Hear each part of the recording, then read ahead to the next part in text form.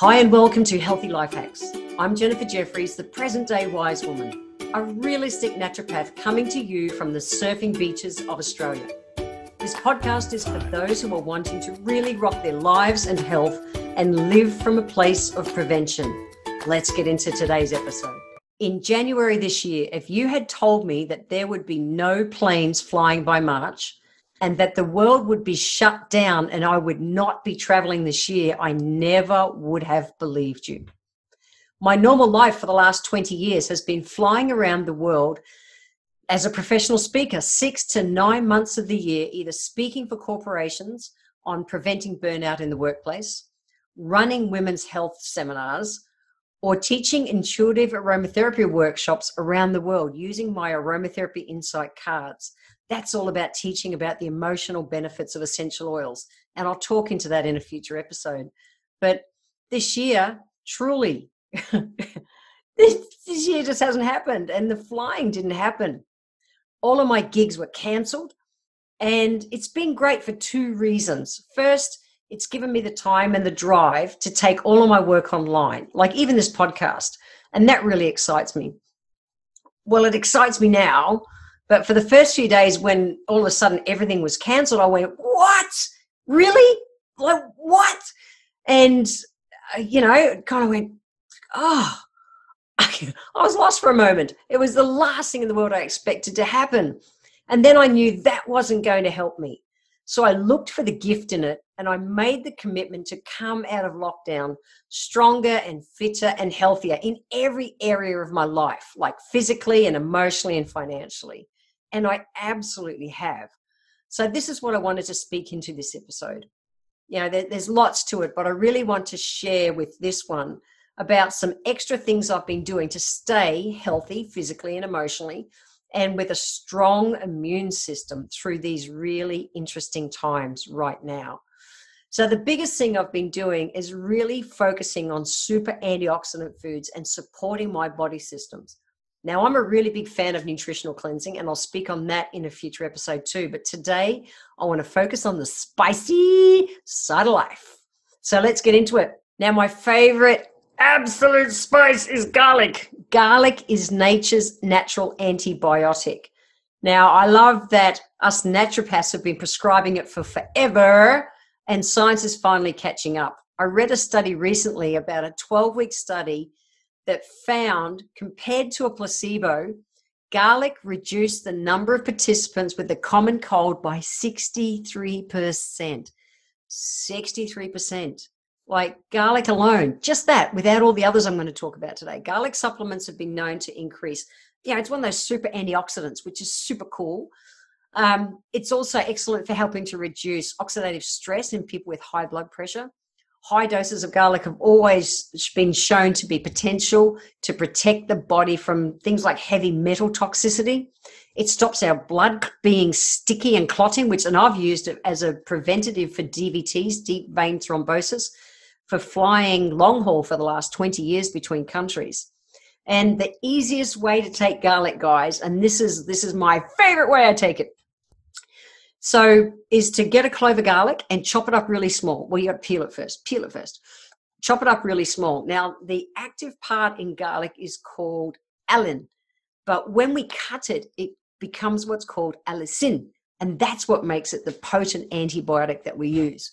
So you want to make it chop it small enough to be able to put it in a glass of water with like an inch, sorry, a glass with about an inch of water over top, and you you swish it around, and then you swallow it whole, not chewing it, you just take it like a shot at bedtime and it works really well.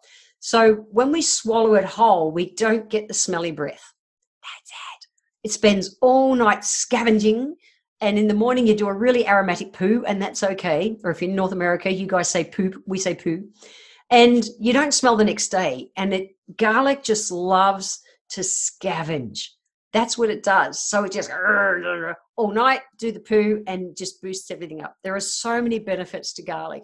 It really is quite crazy. And it is the easiest thing to integrate on your day to day life. It is a, a, regular thing that I take uh, during winter, let alone during COVID. You know, I'm a three or four nights a week, I'll just pop a clove before bed. Super easy because it works. The next one is cinnamon. Now, cinnamon is really warming on all of our body systems. and it's excellent for supporting our gut chemistry. And I actually add a teaspoon of it to my nutrition shake that I start my day if every day. And it helps to fight off colds and things because it's an immune system stimulator. Plus, it, it's great. Another one for preventing sticky blood, which is important for our health. It inhibits, um, you know, it's like an anti inflammatory and also is really good for any blood sugar issues. So, you diabetics, type 2 diabetics, get it into your health like on a daily basis. I'm just going to jump back to garlic for a moment and say, with garlic, don't go buying a garlic supplement that's, you know, odorless because they're taking out the part that you actually need to get the best health benefits from. So you're better off just to use your own clover garlic from home than buy an odorless supplement. Just wanted to throw that in there. I nearly forgot that, and it's really important. So we've got garlic, we've got cinnamon. The next one is cayenne chili, and this is the ultimate spice. I grow a lot of chilies in my garden.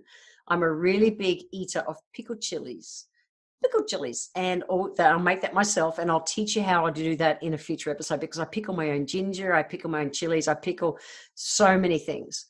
It's really good for you. Uh, but also, I'm a big fan of kimchi, like the Korean kind of food. It's really, really good.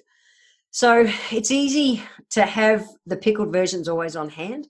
That's the thing. I like it from long term storage, and I can grow it through the season. Then I've got plenty in stock before the next season comes. So that's why I like to preserve it that way.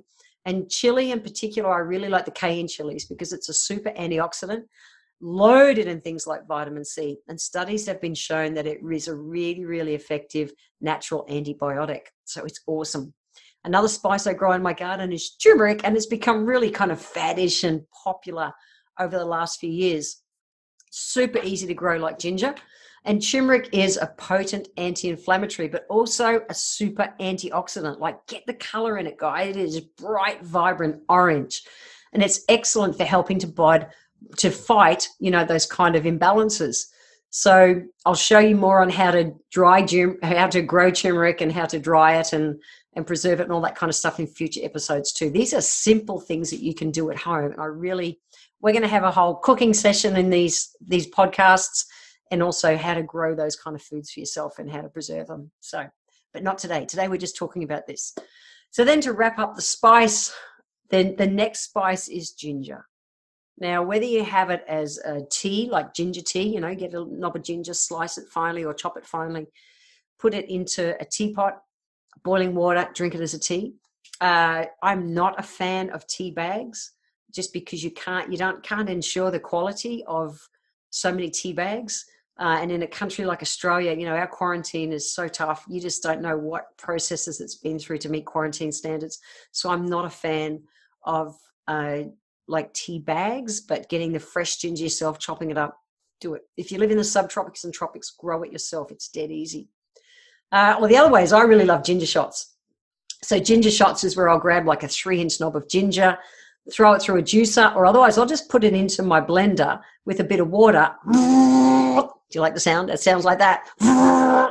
And then I, I scull it. That's it. It's like taking a shot of pure ginger. Now, it is really cool. Ginger is a, another super antioxidant. It's an anti inflammatory, super easy to grow. I actually grew five kilos of it in my garden this year, this season. And it was so easy to pick, to, uh, to pick or to harvest. I harvested my ginger and then I pickled it. So I've pickled half of that batch. Know, I pickled about three kilos, like you get the, the pickled ginger in Japanese food. So easy to make, guys, like crazy. And I promise I'll teach you those things in the future. Um, I might call it, might call that episode hmm, how I like to do things naturally or something like that. I don't know. Anyway, I digress. But either way, you want to bring spices into your health because that day-to-day life benefits of having spices it's it's endless. So spices are big. So remember the turmeric the ginger the chili and the turmeric ginger chili and cinnamon uh, the, they're your, your four key kind of spices to bring into your health. I also want to talk about bitter greens. Now uh, bitter greens uh, are things like you and i grow in my garden i grow all the chinese greens which are really good broccoli, Brussels sprouts, although my Brussels sprouts I'm growing at the moment are just the Brussels. There's no sprouts, not yet. Still waiting for those. Cabbage, I harvested the most gorgeous looking um, sugarloaf cabbage today. Can't wait to eat that. Uh, kale, I grow that in my garden. Radishes are nice and easy. Uh, arugula, which is in Australia we call rocket.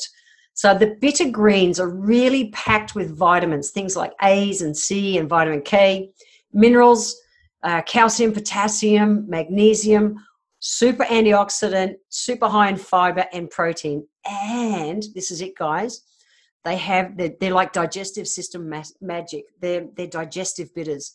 So this is because they provide the prebiotic material to sustain gut health. And prebiotics are the foods for good gut bacteria. Really important. Remember, your gut feeds your brain. I'll talk about that in another episode. It's so important. You know, you can be eating the raw, vegan, organic, paleo, keto, whole foods, whoopty doopy diet.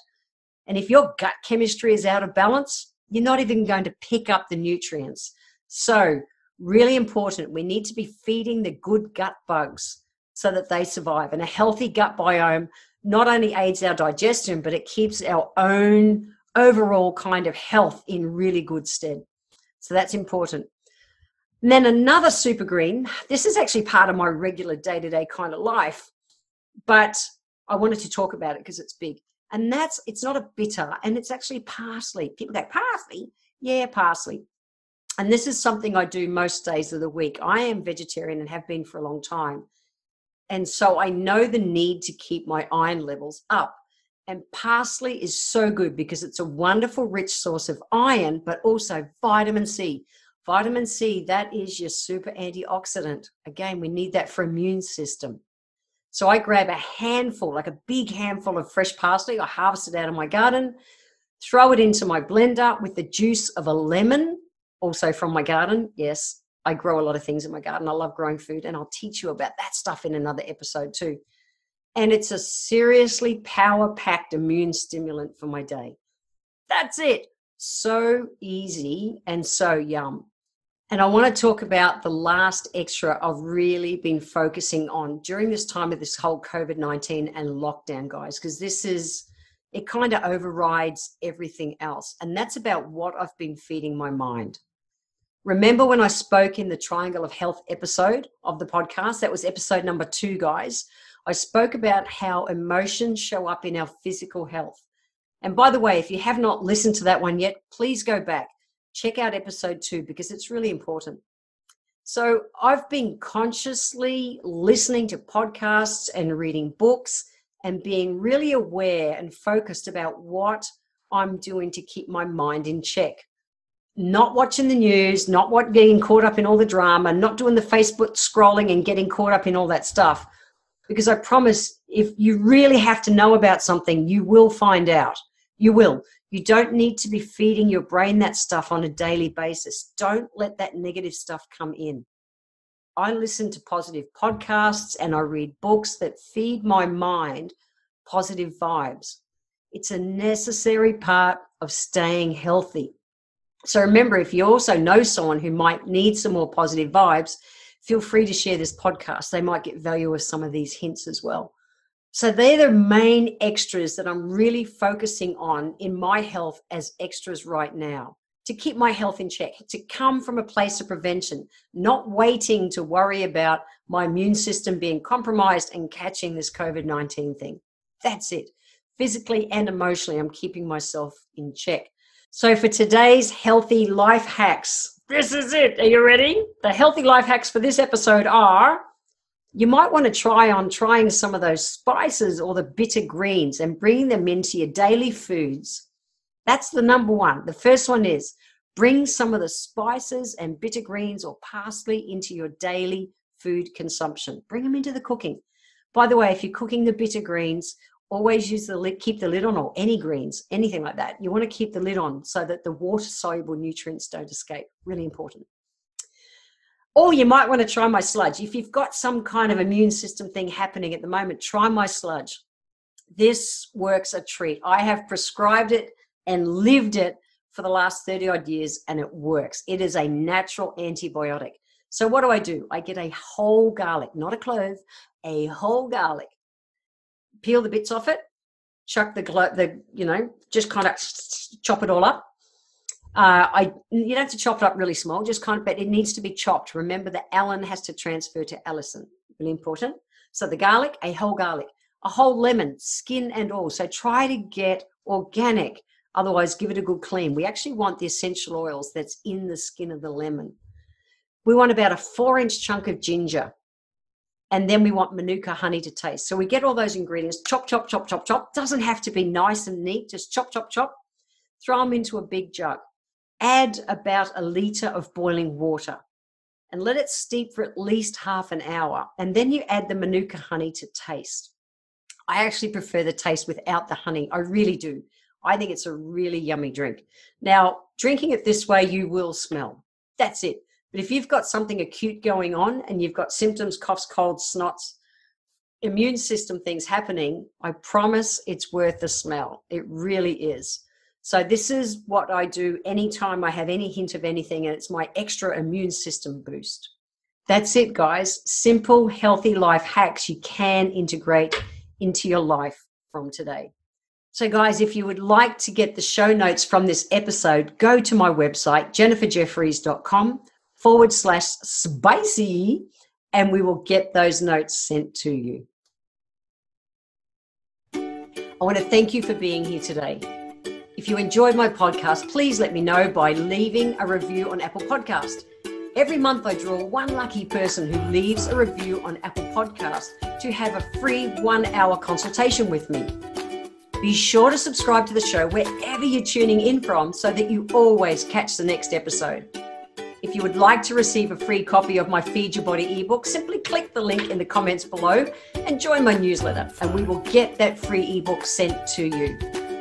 I welcome your emails, and you can write to me at podcast at healthylifehacks.com.au. And until next time, remember when it comes to life, live it, love it, and get on with it.